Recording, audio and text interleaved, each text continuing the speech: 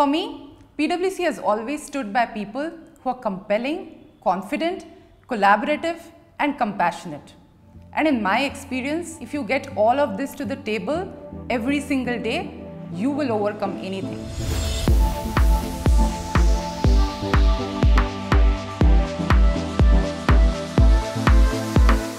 Moushumi has always been very passionate about her work and she's faced every challenge head on. For instance, when we moved to the US for my master's in computer science, she chose to take a career break, but she used the opportunity to complete her US CPA and CFE certifications. Later, when she went to the UK for her international secondment, that training came in handy. She's put in the hard work when it comes to her last 14 years with PwC.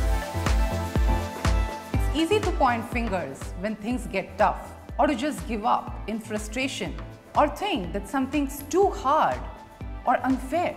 There's this one time I reached out to my mentor who was with our firm for over 30 years and her passion for work was as strong as ever. And what she said has stayed with me. She said, there will always be challenges. The question really is, how do you turn these challenges into opportunities? And ever since I appreciated this mindset, I've said to people I work with, that ownership is not just about having a strong work ethic. It is also about having a sense of responsibility to make a difference. Want to set yourself apart? Own your career. Have a deep sense of accountability. Cut through the noise and find out what really matters to you and go out and experience the infinite. Don't limit yourself. What you believe you can achieve.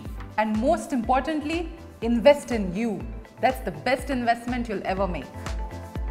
My name is Moushumi Vaidya and at PwC, I'm moving onward and upward.